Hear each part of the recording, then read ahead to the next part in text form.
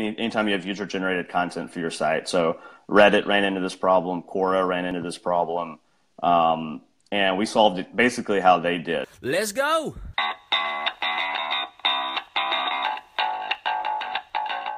Daniel. Hey man. Hey, how how's it going, man? Yeah, great. Thanks for coming on. I'm doing well. we figured it out. So, yeah, absolutely. Yeah. Thanks for having me. No, no, absolutely. Really appreciate yeah, it. So as I said, uh, yeah. It, uh, it usually takes a few minutes, so no stress there. I think everyone's used to me just talking shit for five minutes. Fair enough. Yeah, no, so I really appreciate you coming on. So everyone at home, so Daniel Lawhon, basically he's a SaaS superstar. So I'm really looking forward to you know him to coming on today. Um, for everyone at home, if uh, if you are watching, we'd love to hear from you. And if you're on the replay, we'd love to know you got some value from this at a later date. So if you're able to type in hashtag um, Team R letter R for replay, just so we know you got some value from this. And that way, also, you tagged in the video. So if you have any questions later on, you know where to come to, to post those questions. So, Daniel, um, yeah, let's get started, man. Let's, let's hear a bit about so, how did you all get started uh, with your business? Because you, you've got a few businesses going on. Is that correct? Uh, that's correct. So, I've, um, I've I honestly at this point had more uh, failed startups than successful ones, which I'm sure a lot of people in your audience will be sympathetic with. Um, Absolutely, yeah, I'm the same. I, started, I got a list. oh, yeah. absolutely right. You got the, kind of the graveyard list, right? Yeah. Um, I I got kind of started with that mindset when I was about uh, 12 or 13 when I started kind of mowing lawns for for I think like for local churches. So I grew up uh, just outside Nashville, Tennessee, and there were yeah there's like a row of churches close to where I grew up, and I, I got a gig just mowing every single one of them. That's great. And when I realized that I could go out and knock on doors and make money, yeah, right, yeah. that um, that really got me thinking, and and it sort of spiraled from there. Um, ended up studying in engineering in school, and um, of course, you know everyone's paying attention to Silicon Valley, so you get interested in software. Of course. Um, and and and hardware as well. I mean, I, I like building things. I like uh, constructing systems in general, and so applying that to business is just exciting for me. Yeah. And so several enterprises later, uh, here we are. Yeah, no, that's fantastic. That's the thing. I mean, a lot of the time it is where we start so early and we just come to this realization that we can make money by not having to do a nine to five, and it's awesome. Um, so I remember, uh, yeah, I was Absolutely. at 14 and um, my old man would go to auctions and buy things, and then we would then go to markets uh, the day later and, and, sell them at markets. Um, and that was great. Oh, nice! So it runs in the family. Yeah, yeah. So that was good, but I've I've really over time I had to kind of stray away from my old man's mindset because he always had these little like dodgy businesses that would only last like you know six months and then move on. And uh, I remember he did um, right. um, filling up ink cartridges for about 12 months.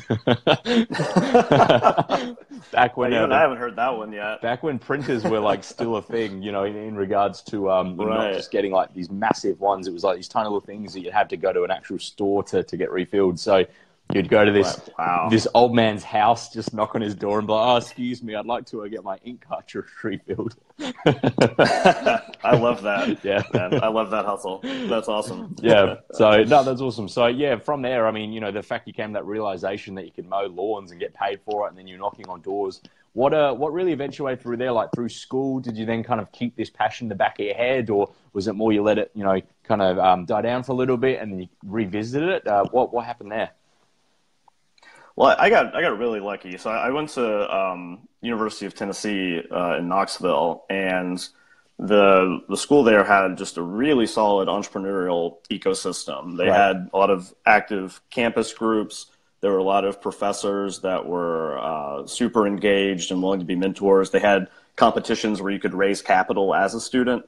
Um, awesome. So I raised money for a couple of ventures, like as a student in that context. Yeah. And so um, I really, you know, as soon as I got in that environment, I mean, I started learning a, a ton of a ton of different things, meeting a ton of different people, and it kind of kept me focused and, and in that space. Um, and that kind of molded. I think that's where I, I picked up some additional skills beyond kind of the hustling and started thinking about, okay, how do I scale these efforts past that, and how do I find those opportunities? Uh, around me and, and apply what I know and, and try to solve problems. Yeah, no, that's fantastic. That's really cool. Uh, Reese says, uh, I used to um, yeah sell stuff as well, and I end up with nothing but loaded junk. oh, I tried I tried flipping for a while too, the, the eBay flipping thing, and I uh, uh, same thing. I was never able to get that get the formula right on that. Okay. That's a tough one.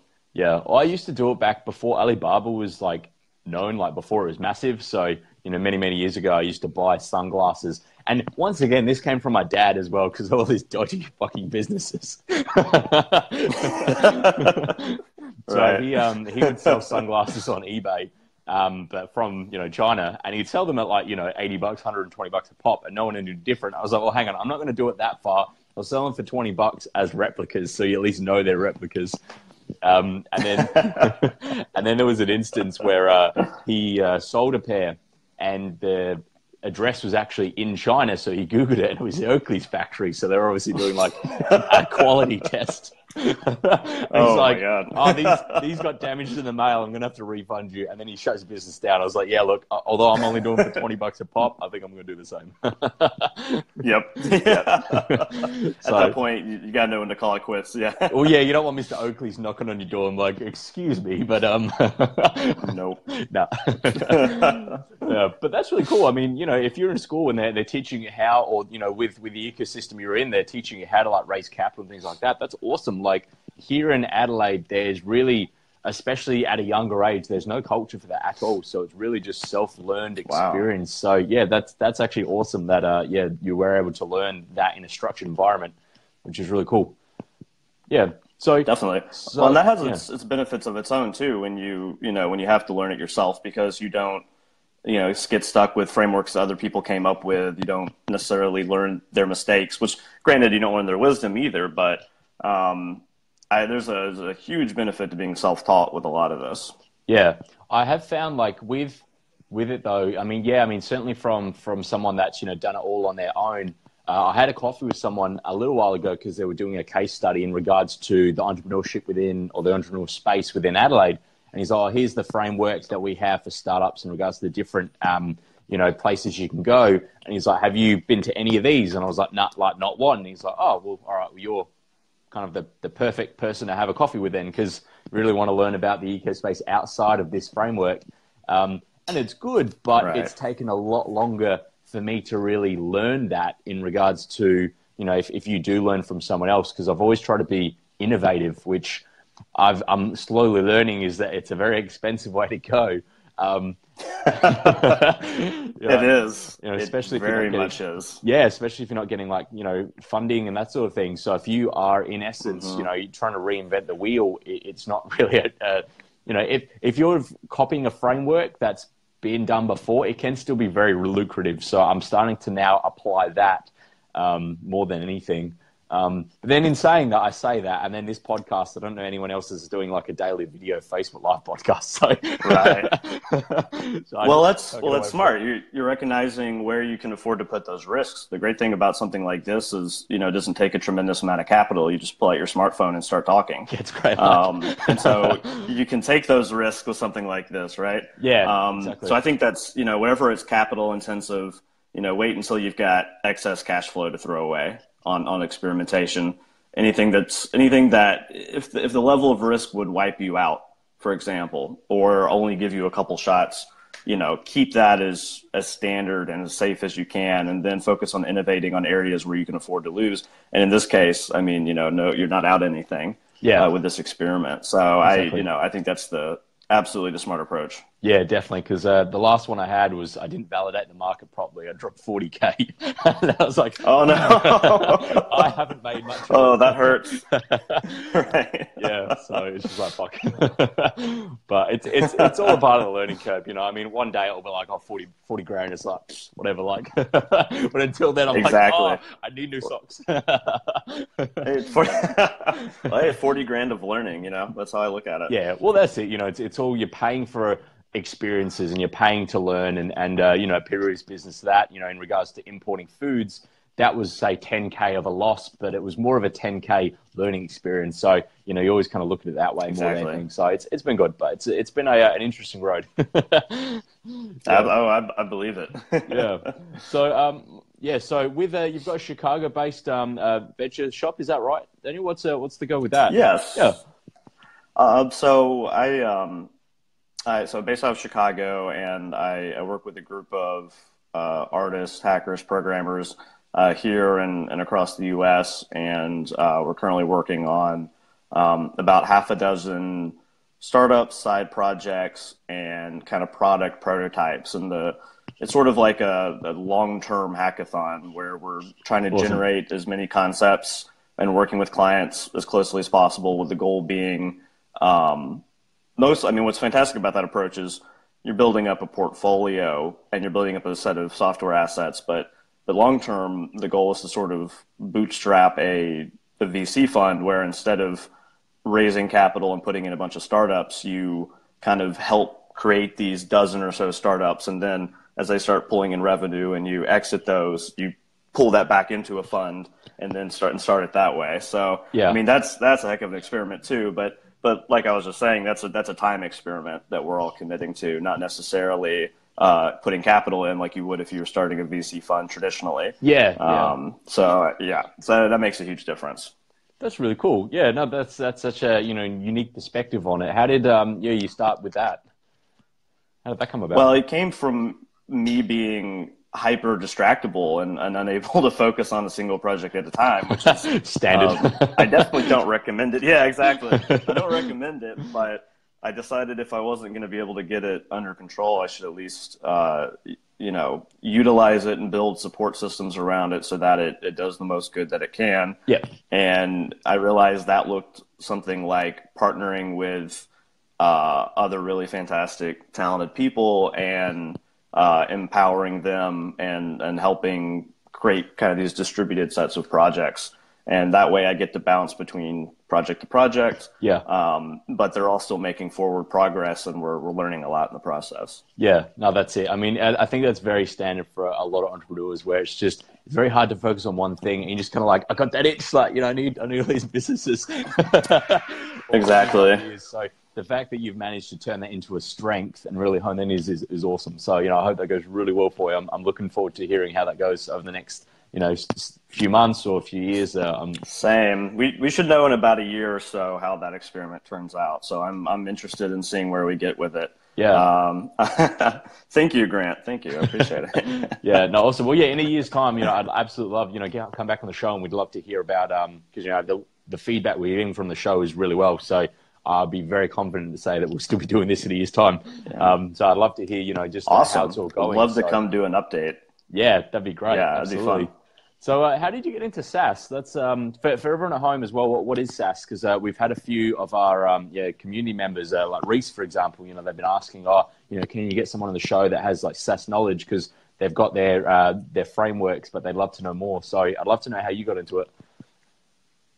Absolutely. So, um, SaaS is is basically software as a service, but yep. um, it, what's really I think it's it's framed as a as a product category, but what it really is is a, a business model category. Yeah. And what's fantastic about it, and what it what was, and, and, and the concept's been around for quite a while now, but what was revolutionary with it at the time was that for the first time you had the ability to generate um, revenue streams with virtually no cost, right? Like it, it software based, so virtually no unit cost. Yeah. Um, and because it's an ongoing, because it's a service that's being used on an ongoing basis, you can actually charge a recurring subscription for it. Yeah. And you know, you'd think this is how you would start with software to begin with, but it, it was such a software as a product was so novel that they sold, you know, one year licenses or they sold a one time fee usage for it.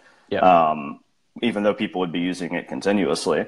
Yeah. And so that what and that just completely changes the level of predictability of your future cash flows. It changes, um, frankly, the level of stress yeah. and the level of management that goes into it. And so I immediately was attracted to that, especially since I, I love the idea of taking excess cash flow and investing it in those riskier things. Yeah, yeah, of course. You want that.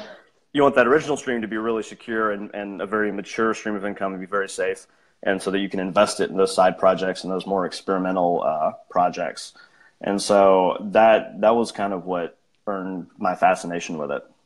Yeah, no, that's awesome. Yeah, that's really cool. Because I mean, I, it's it is it's a case of it, it's a stable source of income, and once you've created it, you've got it, you know, and then you can reinvest and say updating it. But for the most part, you can reinvest in mm-hmm. other ventures. Um, you know, like when and and that's the thing. Like with the models having changed over time, it is now more of a you know monthly recurring revenue stream or or yearly. Um, and you know when uh, Microsoft Office they changed it, so you got to get like a yearly update. I was like, son of a bitch, like.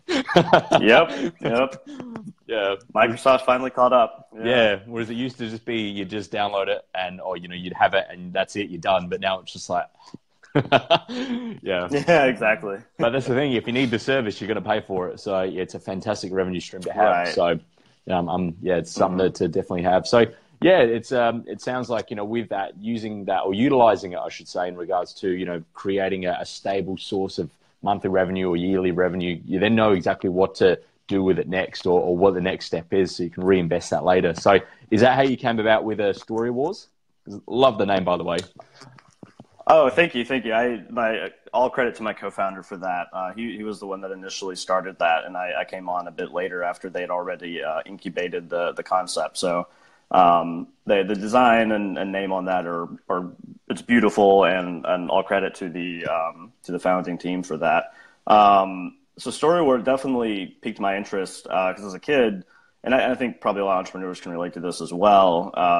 I was just I was reading constantly. I was in the library up until the time we got internet, and then I was on Wikipedia. Right. Yeah. Um, Wikipedia sort of took over the the library for for a lot of people, um, and I I've noticed even my own attention span decreasing with the kind of explosion of social media, yeah. you know, deluge that everyone is taking in every day. Yep. Um, and and so when I saw a service that was working on making reading and writing competitive and engaging for kids, I realized um, how important that really was, and uh, I was very very uh, excited to be contributing to that, and, and and something that you know has a lot of meaning for me, especially from my childhood, but in a way that I think can impact kids and students moving forward in a really important way. Yeah, yeah, definitely. Because I mean, it's it, as you said, you know, it's, it's something that our attention spans are shortening, and it's almost like we're learning adult ADHD, um, and I'm so guilty of that as well. Uh, whereas there's so much just right. going on, absolutely, and to focus our attention now is super hard. So, I mean, I think that's why, for instance, as a podcast, not a video one, but your actual podcast that you listen to, that's why they're booming now at the moment because everyone wants to multitask. Absolutely. And if you're, say, traveling uh-huh. to your office or, or whatever else, or you're doing something with your hands, you can listen to it. And yeah, now in the gym. Exactly, yeah. So your attention is now split, but you're utilizing that as best as possible. And I think it's just a thing about as well. It's, you know, we all feel like time is so precious um, in that regard. So we try to just multitask and juggle as much as we can. So, I'm so guilty of that. Absolutely. I've, I've learned adult ADHD. Oh, I, constantly. Yeah. It's it's my biggest vice is multitasking. Yeah. Hands down. Yeah, same. Uh, and I think by you being able to leverage that and having an incubator with you know several startups in one is awesome because then you know you're always just right. like your attention is looking at you know five ten different things all the time. So you're just like, yeah, perfect. Exactly. no, that's really cool. and it de-risks any of any one of them individually because of you know, if one of them's doing well, then it kind of uh, helps. It can help support all the others in the ecosystem.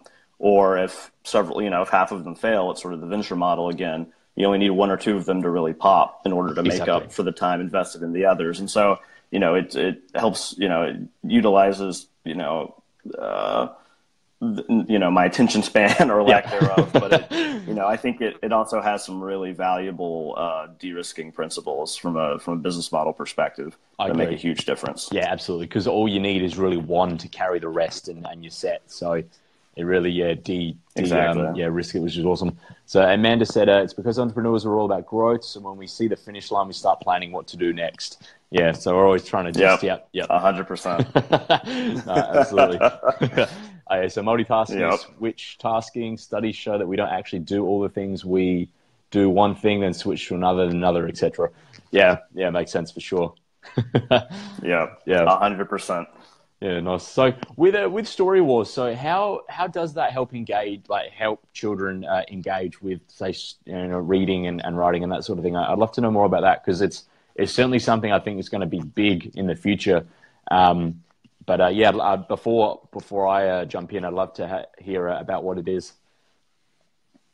Yeah, absolutely. So Story Wars uh, lets a a user write a sort of a chapter one to a story, so they can kind of write a premise or an intro to it, and then other students or other users can write um, chapter two, and multiple people submit their versions of it and then users can vote on which one they like the best. That's cool. And so the one that gets the most votes gets added as chapter two, and then that repeats for chapter three. And so over the course of, of a few days or a couple weeks or however long they want it, want it to be, you end up with a story that was sort of collaboratively and competitively written with the entire community. Yeah. Uh, and with the entire community's input through voting. Yeah. And so it, it creates something that, it, you know, it brings people together, but it also has that competitive element and I think that that is, um, and it's you know it's consumable in bite-sized chunks because it's it's chapter. So I think it's a it's a great way to uh, inspire people to kind of push a little bit deeper uh, with the reading because I think reading and writing are considered such passive activities and they're considered yeah. asocial activities, right?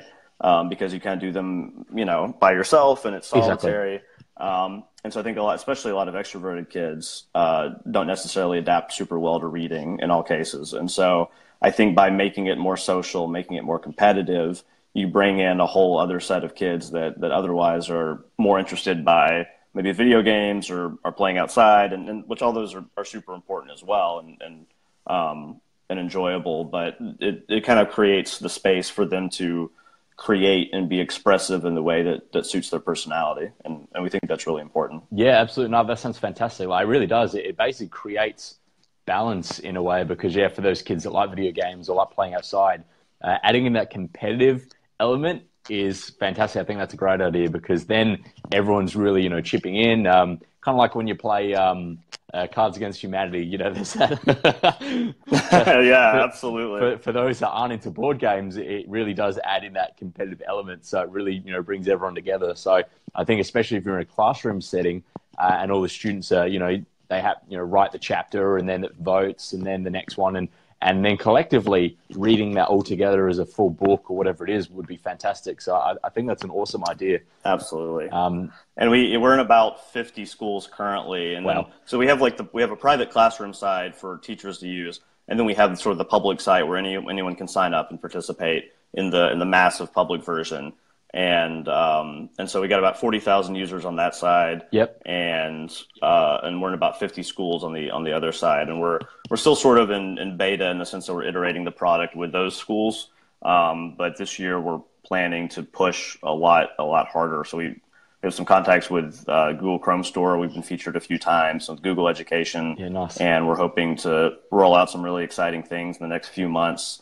Um, and and try to bring this to as many schools as possible and as many uh, users as possible to um, to build keep building that community. Yeah, that's fantastic. Because uh, Reese has had a question here: is how did you create value for them when the uh, voter community hadn't scaled yet?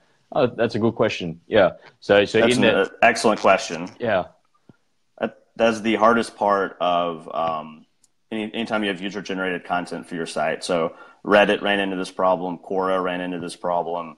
Um, and we solved it basically how they did. We um, wrote a, like the founding team wrote a bunch of stories themselves yep. and started using it like between themselves and their friends and family. And, and so if you've got three or four people working on a project and they bring in their friends and their friends of friends, you can get 20 to 50 people kind of adding content. Cool. Maybe you get them to do that over a weekend or something, buy them a beer and and kind of use the site. And what's great about that too is you're testing bugs the whole time, right? Exactly. Yeah. Um, before it goes beta testing big. the software.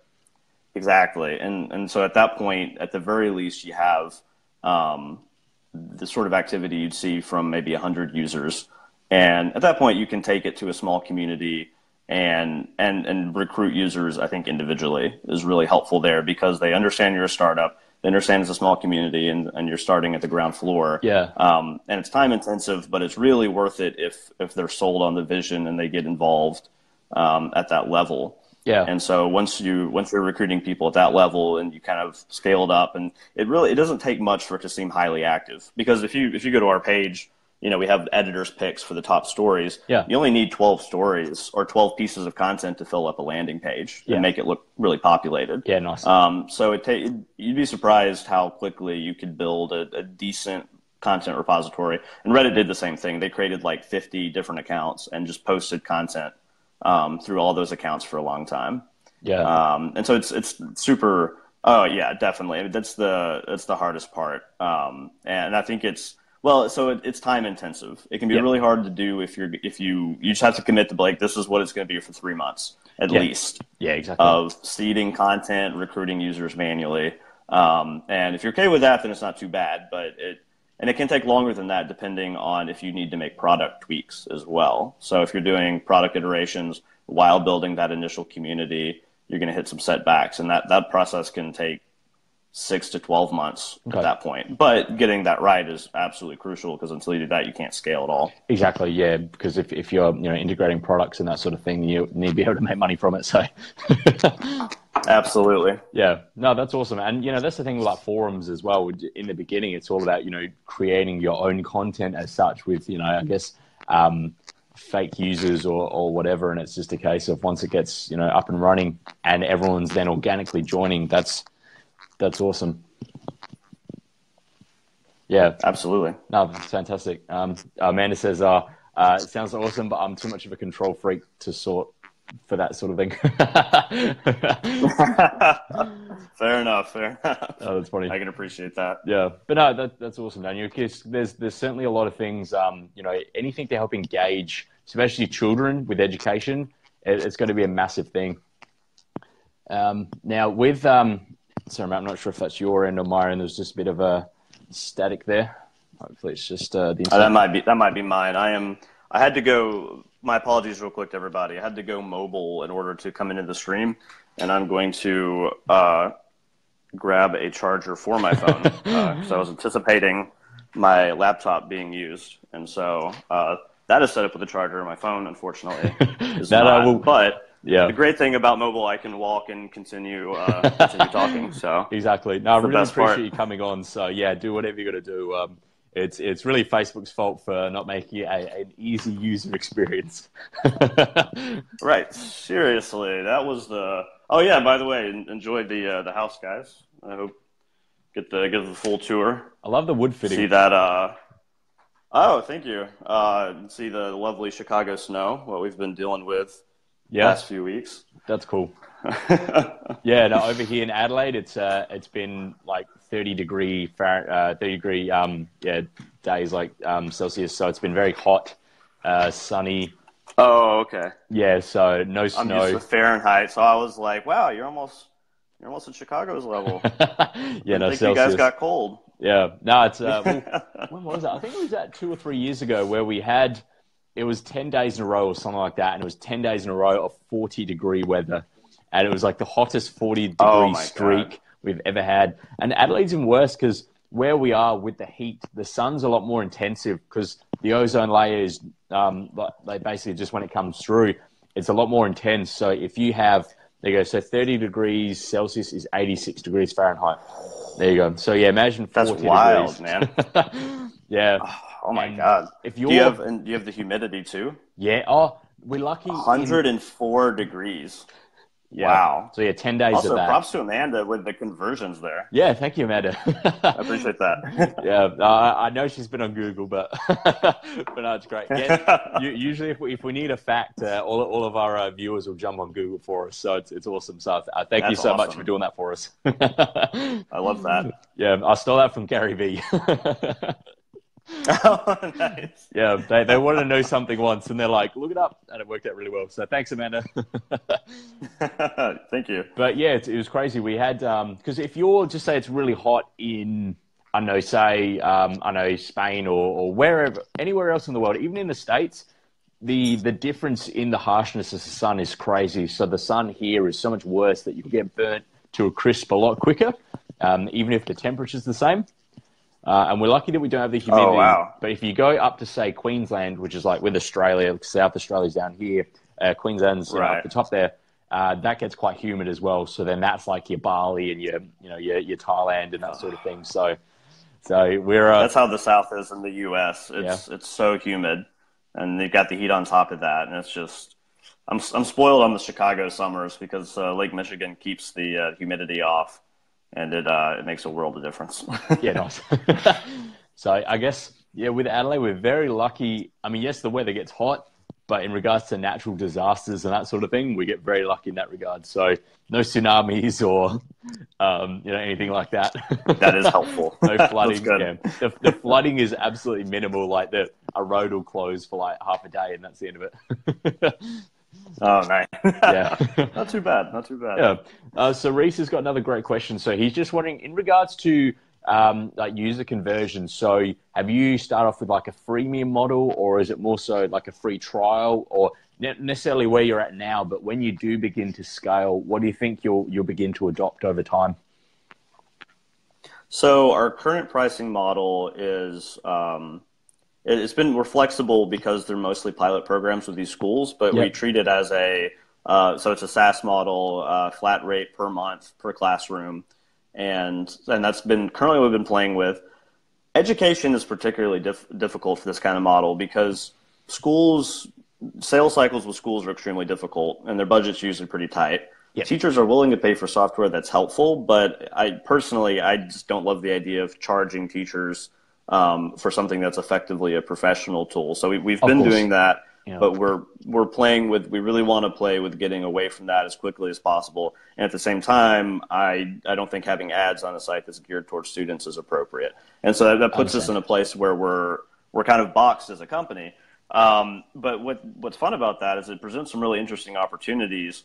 Um, and we've had a, a, few discussions about this internally, and, and we're we've talking to some external partners about this as well. But um, there's potential to um, so what, so we're doing a couple things. One, we're we're likely shifting to that to a kind of a freemium model yep. on the education side. So make the service freely available. Yep. But software, I mean, AI has gotten so incredible these days. We can do things like sentiment analysis, word check.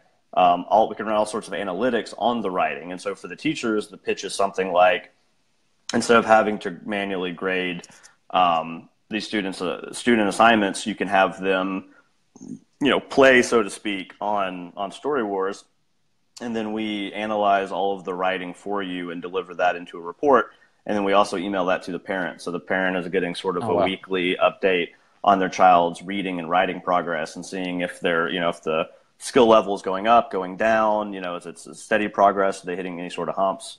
Um, and that aspect of the service, what's great about that is being sort of geared that towards parents on the revenue side. Yeah. Um, and it's such a, and it becomes a tool then that the teacher is, is part of that loop, but the teacher is not expected to, to have to pay out of pocket because teachers, especially in the U.S., pay out of pocket for classroom supplies all the time. Yeah. And it's, it really is a strain on them. And so that's something that I, I didn't, I don't think is scalable and I, and I didn't quite feel right ethically um, trying to push something like that. And so uh, by shifting it to the parents and making that uh, sort of a report that's available to them, it, it creates a, it basically takes the value that we're creating and finds another customer for it. And then we can share that with the broader ecosystem. So with the teachers, with schools and things like that. And that's almost a courtesy to the, to the schools and a tool for them to use. Yeah. Um, and, and, so that, that's the approach that we're taking. Uh, in terms of free trial versus freemium, um, as a, so in a general as a general rule, I think where free trial works super well is when the value that uh, the user is getting is immediate, and also there's a cost to them taking that value elsewhere. So, for example, um, free trials work great for something like a CRM or like a customer relation management software because yep. if someone tries it out for two weeks, they're going to upload all their contacts into it, right? Yeah. And they're going to start placing emails through it. And so now they've got a set of emails and they've got a bunch of contacts they've uploaded. And sure you can export the data right? Yeah. But when it when the time rolls around it's like hey time to pay. It's it's such at that point it's less frustrating to just at that point it would be more of a pain to get the data out find a new service yeah, they're committed. that whole process over again. Yeah. Exactly. They're they're committed at that point.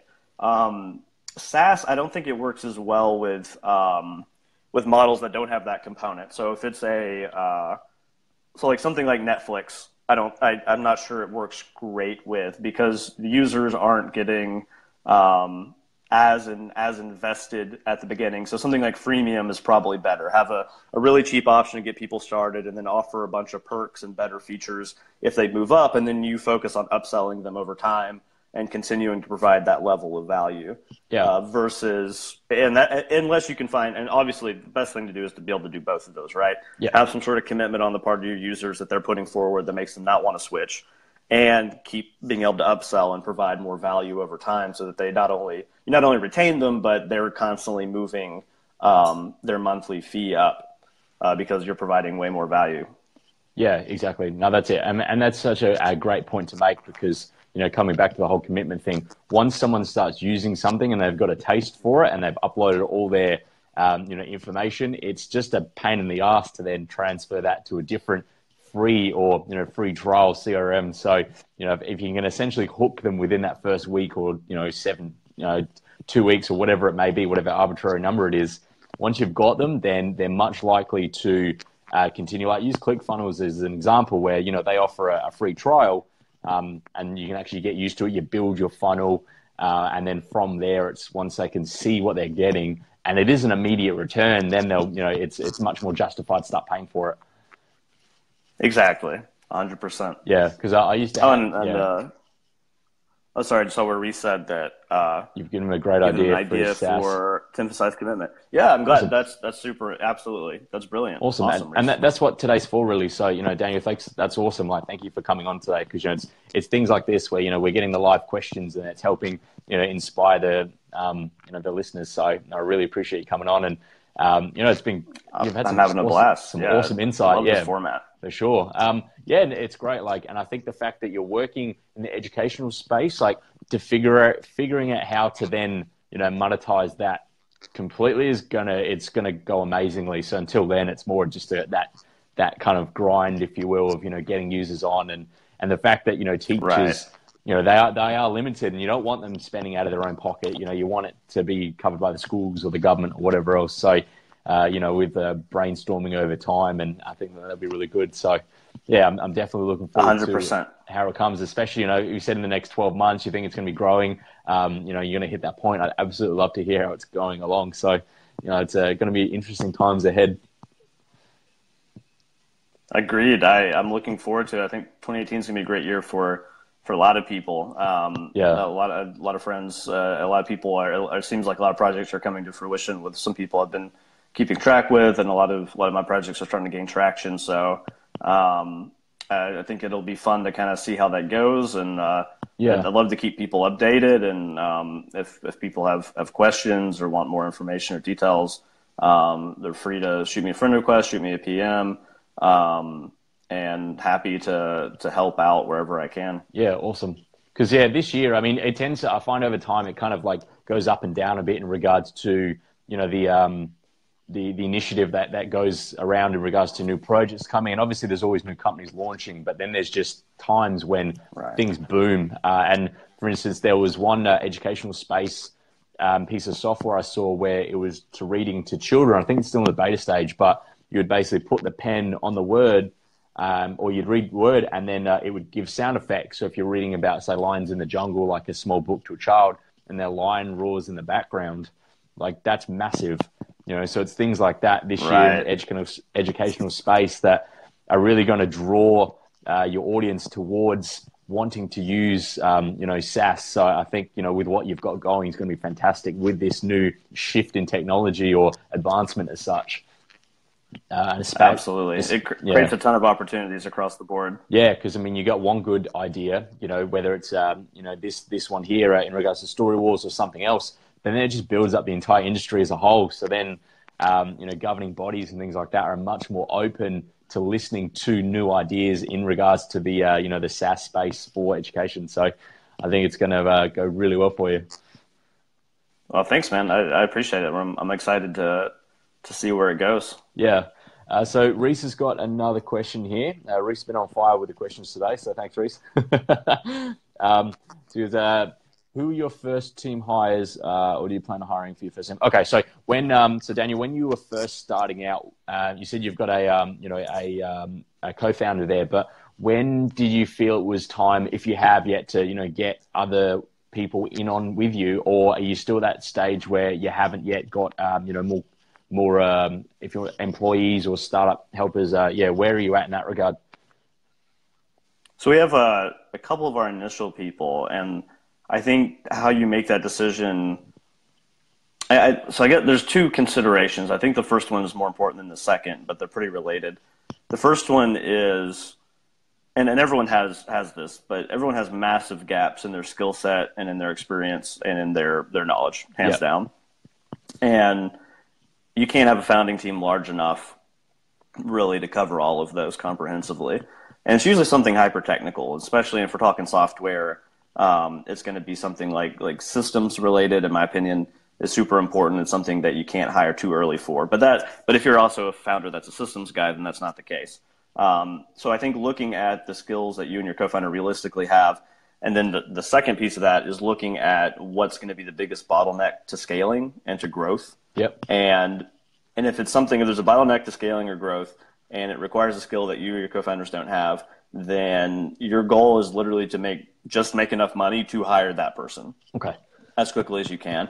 And you might want to bring them on as a partner at that point too, depending on how critical it is. Yep. But if you can kind of get to your, your founding team, basically needs to be able to build an MVP. You need to be able to build the a basic product that either a large like a pilot client or a small group of beta customers will pay enough for, so that you can pay your bills and hire a couple people. That's like your only go- goal for the first like 12 to 18 months. Okay. Is to do yep. something like that and once you're at that point, then in our case, it was it's a systems guy, and so that's the the first the absolute number one thing that's needed.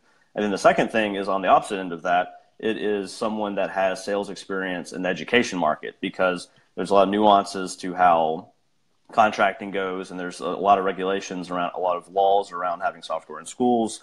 And you know, obviously, we, we work to keep up with that, but the the second person is someone that knows education inside and out as an industry and hopefully has some connections in that space. Yep. And so for us, that looked like the two biggest bottlenecks, um, and then we can sort of fill in the gaps on everything else, and that would give you kind of that core team needed to. At that point, we could.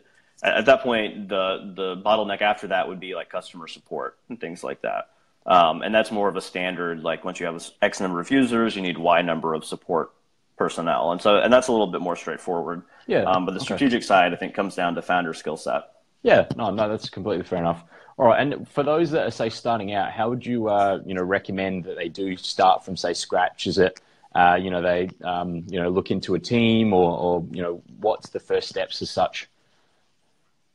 So the the hardest part with startups, and this is and where almost every single company fails, is not having a market for their product. Yeah. Um, and so you can't spend too much time getting that right.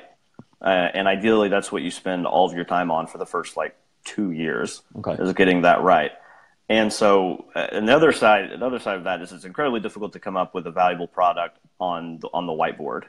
Um, so rather than brainstorming in a traditional sense, yeah, right. I mean, yeah. because you're just that's not where you live, right? Yeah. Um, that's not where people have problems, and so you're not in that headspace. Um, so I, so the most important part, and this is you mentioned this on the intro, where I was able to turn uh, a dishwashing job I had in college. Yeah, I wanted to ask business. you about that. Yeah, that's that's really interesting. Yeah, yeah. Well, it, it fits it fits into that. Nice. Um, I, so I was I was dishwashing at uh, well at a few restaurants uh, throughout high school and college.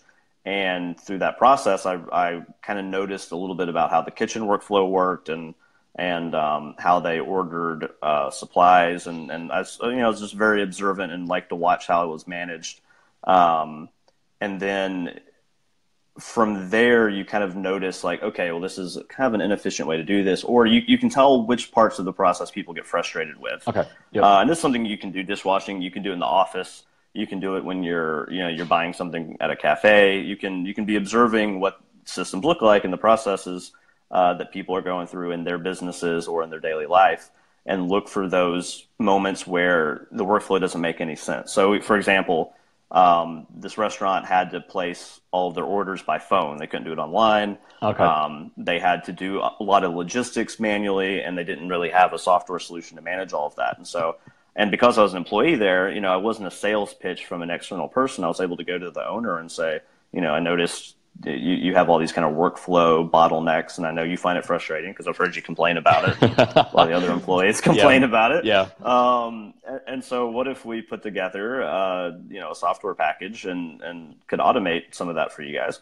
And and they were they were into it. And and so, what's great about that is you have that initial customer before you even build it. That's cool. Um, and in almost any case, any problem that someone has, like if like if that restaurant has that problem, like at least one other restaurant has it too, if not all of them to some extent. yeah. Um, at least in similar markets and similar geography, like there, there's going to be more than one customer. Odds are, and and so at that point you have a validated customer. You've built it, and you've gotten paid before you've built it, and then you can turn around and take it to other clients as well. And Yeah. and you're not even having to you're not cold calling at that point because you're doing it for an employer. So Yep. so looking so I think step one, doing it from scratch, is looking for those problems in your daily life. Um, looking for people that already trust you that would would you know give you a shot to try and solve that problem for them and use that time and money to make the product something that actually fixes a problem. And then the scaling like if you get the product right you get the product market fit right then the scaling is you know it's it's a grind but it's people kind of know how that works. Like you know you, you you test marketing channels and you test partnerships and, and that's a process you can feel out but if you don't have the right product going into that process you can't save that. There's nothing you can do. Okay. and so Yeah. focus on that. Focus on the problem. Yeah, yeah, awesome. Okay, so if just say you do you do focus on this problem and you're starting to create you know awesome software that's going to get around, how would you recommend in regards to mm-hmm. say a marketing perspective in say content creation or something like that, um, especially with Story Wars? How did you initially get it around? Was it all word of mouth in regards to, to say cold emails or cold calls, or were you making like um, I don't know, say like YouTube videos about the software, or um, yeah, how did you uh, yeah get that up and running? So all it's all word of mouth initially. There, there's sort of two parallel tracks in Story Wars. You have the you have the classroom side where the, the teachers are using, and it's almost a B two B model. Yep. Um, and then you've got the the public version that that are that are public users that are that are on the site.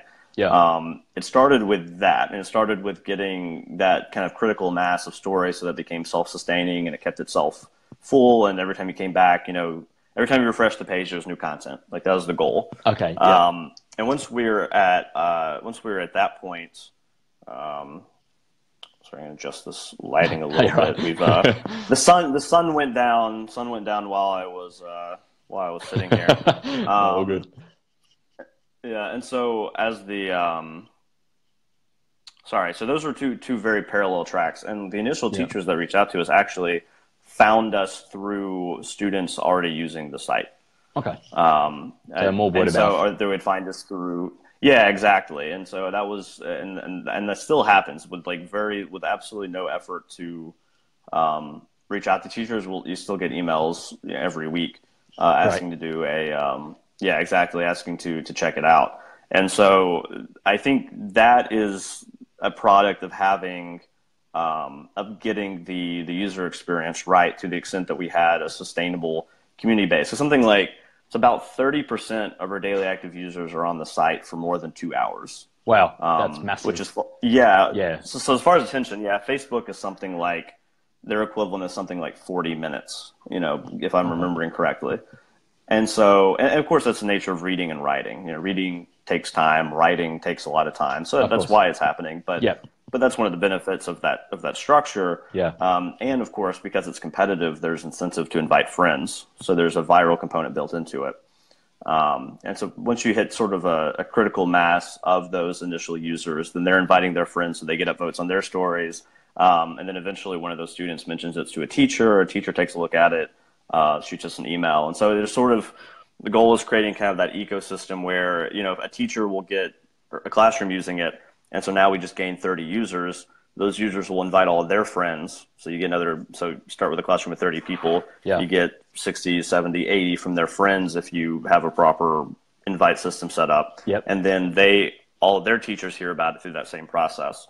Um, and you just want that, and it kind of bounces off of itself and, and iterates on its own.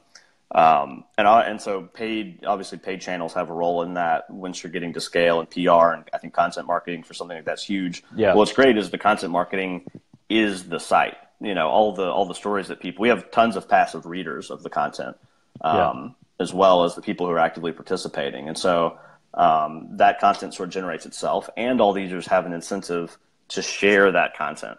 Yeah. Um, because yeah. they want to advertise themselves, and it's sort of it's like a social media site in that sense. So it's like advertising your Instagram, um, and so all those factors. So you, I think it's it's difficult to sit down and construct all that on paper, but I think once you have an idea of a product, you can start thinking about okay, how do I how do I get these people? How do I get influencers to share it? Like so, top down and then how do you have people share it amongst themselves at those levels and then that go back up into influencers another point and you can, those influencers can be media folks it can be teachers it can be anyone where you've got one person you've got like a one to many relationship you've got one teacher 30 students it's a really yeah. good opportunity to get something to spread viral uh, exponentially like amanda said yeah that's um, awesome and of course and that sort of evolves naturally but that's you can be thinking you can be looking for those opportunities it's hard to just make that happen but of course you yeah. can look for little quirks of the market and then make little adjustments to take advantage of those things um, yep. and that and that's something you should be thinking about as you're also thinking about the product. Those are the i would say those those two things you keep in mind at the very beginning. Yeah. No that's awesome daniel. That, that's fantastic. Thanks so much. Like this has been a, a fantastic chat. I've really enjoyed this. Uh, and I think there's been a lot of value awesome. there for, I, I um, for yeah everyone at home uh, that's you know perhaps looking to that has their own software or they're looking to start up. So I think it's been fantastic. So everyone at home uh, that's listening within the niche entrepreneur community, um, we'd love to hear from you just to know that you got value from this. So if you're able to type in hashtag value, just so we do know that you did get some value from this. Or if you're on the replay later on, just so we know that you enjoyed this video, so we know to make more podcasts in the future. If you're able to type hashtag Team R letter R for replay, we'd absolutely love to hear from you because if if we know that you're getting value from this, we'll keep doing it. Whereas if it's something that we feel that we can better invest our time elsewhere to help you, then we'll absolutely do that. So thanks so much for tuning in.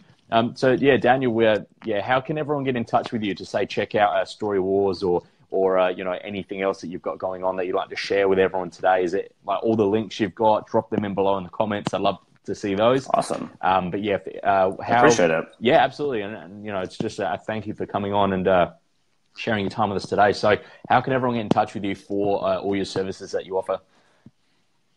Yeah, so feel free to um, shoot me a, a, PM through here or, or, shoot me a friend request if you have any questions or you want to follow up on anything we talked about today. Yep. Uh, you can follow me on Twitter uh, at DT Lawhon, uh, L A W H O N. Yep. I'm getting a little bit more active on there. Um, and if you want to check out Story Wars, if it's something that sounds like you'd be interested in, uh, either as a user or if you have a, a, kid that, that likes reading and writing, or you'd like to introduce your, your kid to a, a fun way to read and write, uh, you can yep. check it out at storywars.net. Yep. Um, and I had a great time, man. Uh, great questions from the audience. Um, really great time. I appreciate being on. Yeah, no, thank you so much for coming on. It's, it's been an absolute blast. So, yeah, it's been fantastic. So, everyone at home, Daniel Lawhon, uh, we really appreciate you coming on today. And uh, everyone at home, thank you for investing your time with us here today. So, uh, yeah, Daniel, we'll keep in touch. Uh, I definitely want to have you come back on. You know, if you said if you think 12 months is kind of the time frame to for everything to be booming, then uh, let's get you back on. Uh, hopefully, you've got enough time then when uh, you know it's, it's grown um, exponentially. but uh, oh, yeah, I'm sure. I'm sure it will. Absolutely. Yeah. All right, man. Well, yeah. Thank you so much for coming on. So we'll stay in touch, and everyone at home, thank you again for for tuning in with us today.